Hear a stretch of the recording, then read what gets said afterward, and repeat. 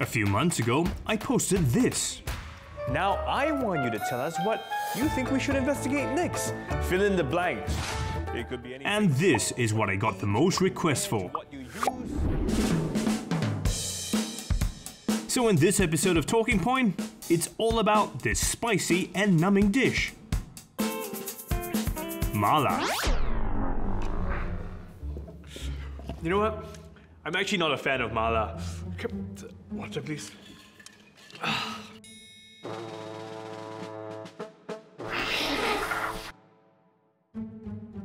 But because you guys asked for it, I'm gonna dig in, keep on eating to find out exactly what is in this dish.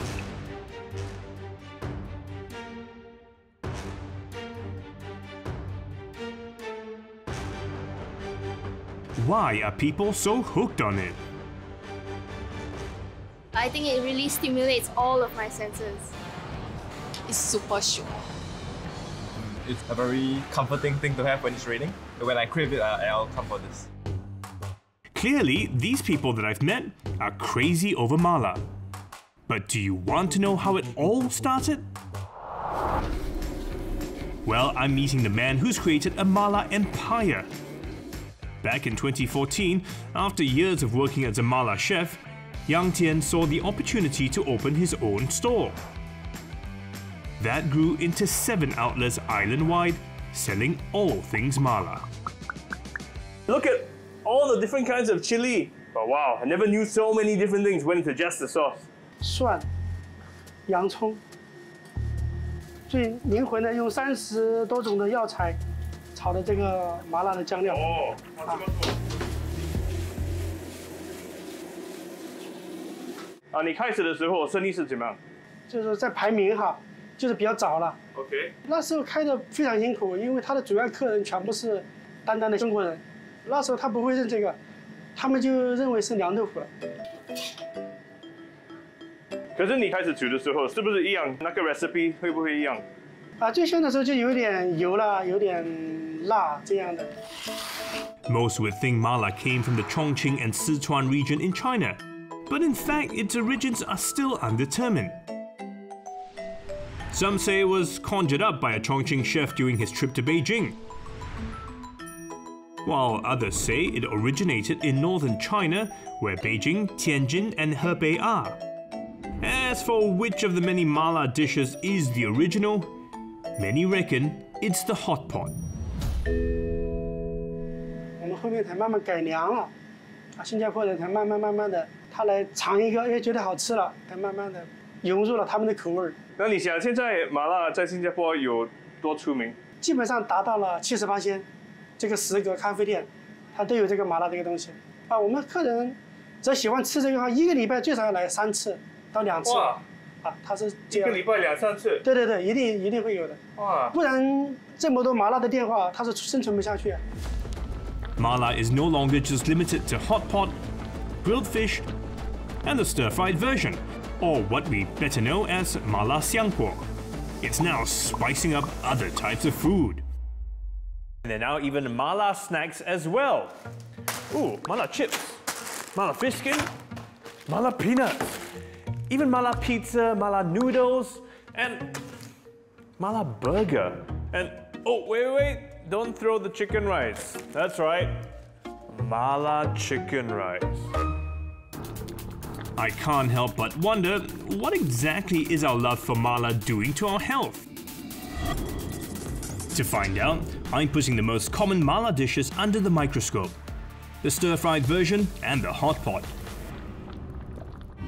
And to narrow down which ones to test, I need to pick your brains to find out what are the most popular mala hotspots in Singapore.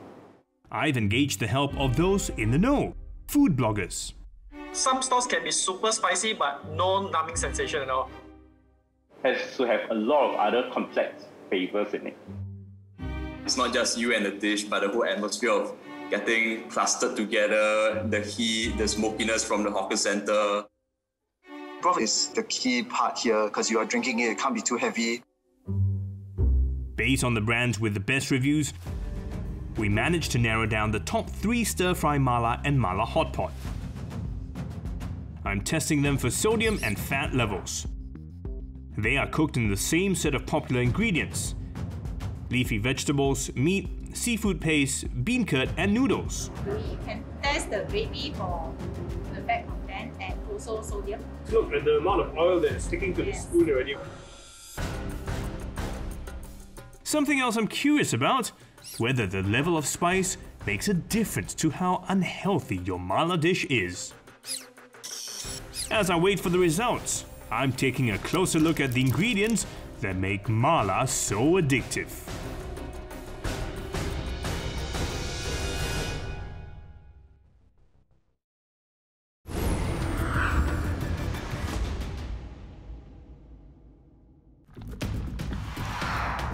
A mala craze has ignited in Singapore, burning bellies and also a hole in our wallets. That's because a single serving of stir-fried version could easily reach 10 Singapore dollars. And a mala hot pot meal up to 60 Singapore dollars. I asked mala chefs to explain the high price point. 其实麻辣香锅就是好像说现煮的，然后就是你你一开火哈，就是煤气都要一块钱了。 There's more meat and more seafood, so naturally costs will be higher. We use our 20 over herbs to make this sauce suitable for Singaporean taste. If it's going to hit my pocket, I want it to at least be worth the pain. Since Mala Hot Pot has the widest price range, I figure I'll go try the two extremes to see which is more worth it. First up, Shi Li Fang. The first thing you'll notice at any of its 15 outlets would be the soft toys hanging all over its storefront. Wow. But behind all that fluff is one of the cheapest mala hot pots in Singapore.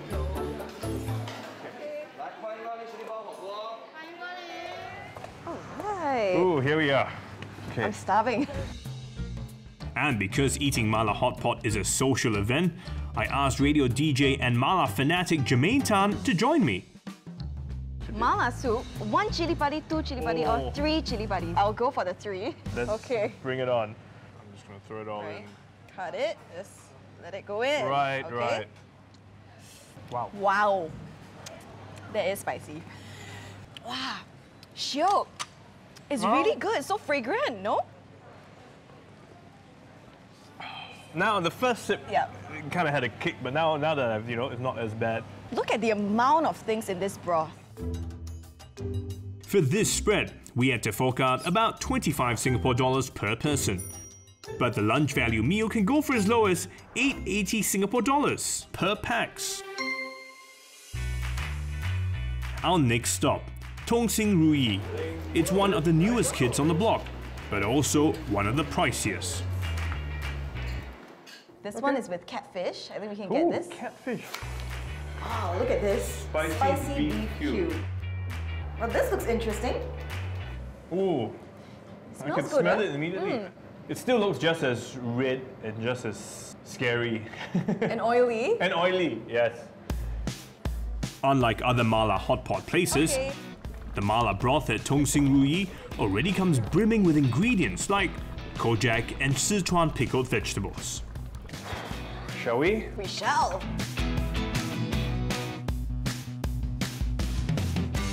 And the soup's thicker. Oh, wow. Actually, not even that spicy, Mm. right? It's definitely more flavorful. I think overall, this broth is not as oily. This meal sent us back a whopping 55 Singapore dollars each. That's over twice our last budget mala hot pot meal. Wow. Oh, those were two good meals, you know. But if you had to pick, which do you think is more worth it? Well, I would have to say Tong Sing Ruyi. The broth is very flavorful, Mm. and if I'm gonna put any calories in my mouth, it's gonna be that one. Okay, I'm gonna pick Shi Li Fang. Mala, after a while, I actually can't tell what I'm eating. So if I didn't know which uh, restaurant we were in, I think it would pretty much taste the same to me. So I enjoyed my mala meal. I mean, I, I can still feel the strong flavors, you know, lingering on, but I noticed the numbing effect went away quite quickly. Uh, but that burn in my tummy, yeah, I can still feel it. That's no surprise, because the broths were packed full of spices. which are purportedly full of health benefits. Sichuan peppers are actually dried berries. They are said to be able to stimulate our immune systems, help reduce body pain, boost appetite and improve metabolism, lower blood pressure, strengthen bones, and reduce inflammation. You might be more familiar with dried chili. They have good minerals like folate, potassium, and thiamine and are excellent sources of vitamin A, B, C, and E. But here's what got me excited capsaicin. The chemical that gives dried chili their heat is said to help with weight loss. So that is good news for me because I've been trying to lose a bunch of weight these past few months. And now that I know dried chili can help me do that, I've decided to load on all the ingredients, load on the chili, even ask for a spicier sauce too. What do you have there, Steve? Hmm, I wouldn't have that if I were you. Oh, why not? Well, let me get my food and then we'll talk. Okay. This is Heart Doctor Dr. Kelvin Chin. I want to know why he is cautioning me against this dish that seems to offer a myriad of health benefits. The amount of weight that you lose from chili is actually very, very modest. You're talking about one kilogram over three or four months of just pure eating chili Really? alone. Okay. So unless I eat a whole, whole lot of chili, Yep. not much is going to happen to me. The problem is once your tolerance of chili build up over time, the effects of losing weight from chili actually gets lower and it reduces over time as well. Okay. What about the Sichuan peppercorns? I know that's also a main ingredient in this, and that there are certain health benefits to it? Yeah, you're, you're talking about very, very modest benefits with uh, probably a large amount of peppercorns, which is not very palatable in, in- for a lot of people. You're also talking about the oil and the salt and the content in the mala that's really unhealthy. You know, increases your risk of getting uh, heart disease. So actually, how much mala should I be eating if I want to achieve the good but not the bad effects? That will probably be not more than once a month. Once a month might be barely enough to satisfy mala lovers. But for just this bowl alone, how much sodium and fat am I actually taking in?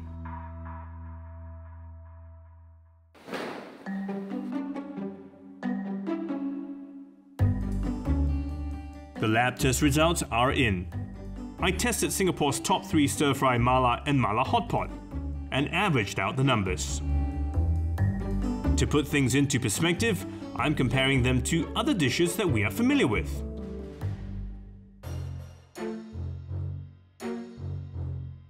On average, that's 469 milligrams of sodium per 100 grams of stir-fried mala. And 418 milligrams per 100 grams for mala hot pot. That's higher than the milligrams of sodium per 100 grams for most of our popular hawker dishes, like mutton biryani, laksa, and char kway teow. I'm bringing in an expert to help me make sense of the data. This is 100 grams of your mala broth. Okay, inside actually is contained about 418 milligrams of sodium. So don't forget you have other ingredients like Okay, meat, processed food, and sometimes you will not drink one. You may drink two or three. Your graph should be exceeded the scale. You can easily hit about 1000 and sometimes more than 1005 of sodium. Oh wow. When it comes to saturated fats, about 45% of the total fats in stir-fried mala and 34% of the oil layer in mala hot pot is all unhealthy saturated fats. That's comparable to the percentage of saturated fats in most of the hawker dishes. On the recommended calorie intakes, we have about 25 to 30 percent of our energy shall come from the fat, which is about 55 grams to 80 grams of fat that we're supposed to take in daily. Okay. And one third of it is saturated fat. So if you consider one third, which means you cannot exceed about 22 grams of saturated fat Yeah. per day. Per day, and Yes. already this alone is, is five. Yes, this alone is five. Don't forget that this is just the soup. With all the ingredients, easily you will get more than 20. That's not all. the act of boiling the mala soup itself makes it even more unhealthy. During the high heat process or prolonged heating, like the mala hot pot, this polyunsaturated or unsaturated fat can be converted into trans fatty acid as well as saturated fatty acids, which makes your dishes quite dangerous in this case. Okay, so the longer I cook it, the, the good fat, which I kind of need, becomes bad fat. Yes, because they will undergo quite a number of chemical reactions. They will produce other toxic chemicals as well as free radicals that will attack your body. The higher the temperature, the faster the reaction rate. I also tested to see if the spice level affects the sodium and fat levels. And here's what I found.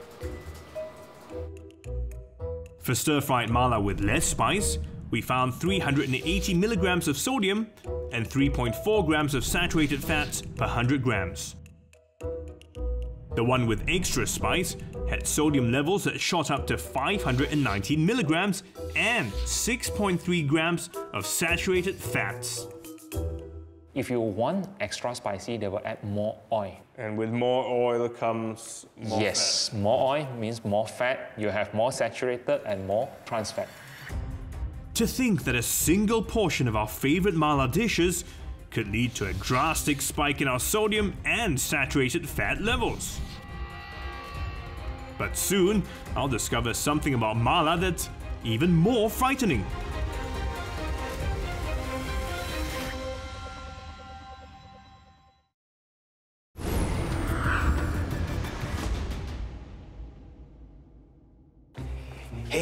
Back guys.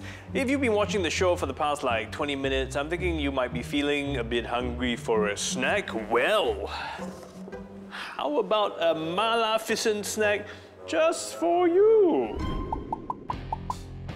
Three years ago, a Mala invasion fired up our snack game.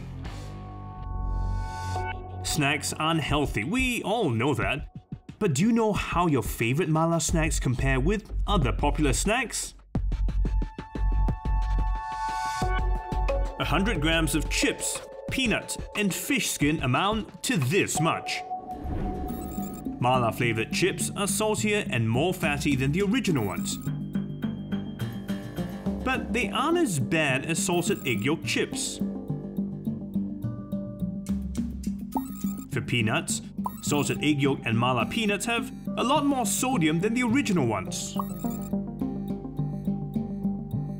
But mala peanuts have the lowest saturated fat levels among the three.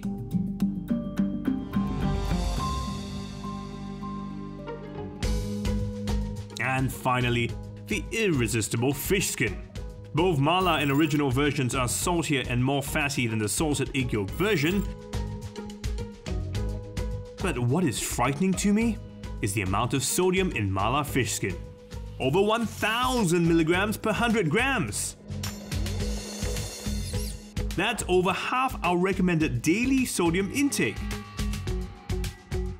And at 22.4 grams of saturated fat, it's over the recommended saturated fat intake for the entire day.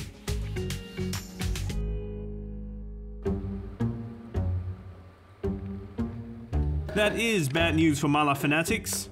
Too much of these might spell trouble for their health. So I want to know if they are able to give up or at least cut down on their favorite mala dishes. I've invited three Singaporeans who are crazy over this bold and spicy flavor. Adinda Safira Adani, Crystal Chin, and Danny Dawood. This is a typical portion. In a portion like this, there is over 400 milligrams of sodium in it. Oh wow, I usually eat like four times of this. I didn't expect like that small bowl to have so much sodium. Would you believe me if I told you the amount of saturated fat in these mala dishes is actually more than some of our favorite hawker food, like uh, mutton, biryani? Uh, no, I thought biryani is quite fatty already. It makes me feel concerned because I eat this much more than biryani, of course. Yeah. Knowing what you know now, would you give up mala? Give up? No. No. That would be the last thing on my mind that's a hard negotiation, but maybe Um, not as often, maybe like once every two months. We can't be 24-7 healthy. Otherwise, like what's the point in living? If you don't get to enjoy your favorite food. If cutting down on mala is going to be next to impossible for our mala lovers, surely there are healthier ways to eat it. I've asked dietitian Jacqueline Low to join our feast and share some tips. Usually I let the ingredients sit in it for a while, let it boil up, and then let the flavor sort of infuse, and then I would ask them to remove that oil. Sometimes it can fill up even three to four of these uh, rice bowls. Just the oil? Just the oil. Oh my gosh. So the ingredients wise, anything that has been deep fried beforehand is going to absorb double the amount of oil. Oh! so you can see those little bubbles inside the tofu skin. That's going to really soak up all that oil. So something like deep fried yam is going to be already double the calories of a normal yam, but once you put it into that soup, it's going to be triple the calories. Oh no. right. If I'm gonna eat vegetable in my mala, which vegetable should I choose so that it doesn't absorb that much oil? Things like the lettuce or spinach, you know, you can just blanch the vegetables, take it out and then eat it straight away, as opposed to leaving it in the hot pot to actually cook fully and absorb all that oil. And what about stir-fried mala? Do the same rules apply? I think it's a similar concept. Maybe aim for seven items and choose at least four items that are pretty healthy. You can actually ask them to put less of that paste. Mm. Yeah, so that's another way to reduce that amount of sodium as well. Yeah, some places you can ask for less oil as well. Mm, yeah. And snacks. Now we've heard of mala snacks. Yeah. Is there a healthy way around that too? Give yourself like a small bowl. Usually about a quarter of the bag is about 150 calories, which is perfect for a snack. Yeah. That's very little though. I know it's small. It's small. You're not getting any sort of nutrition in that.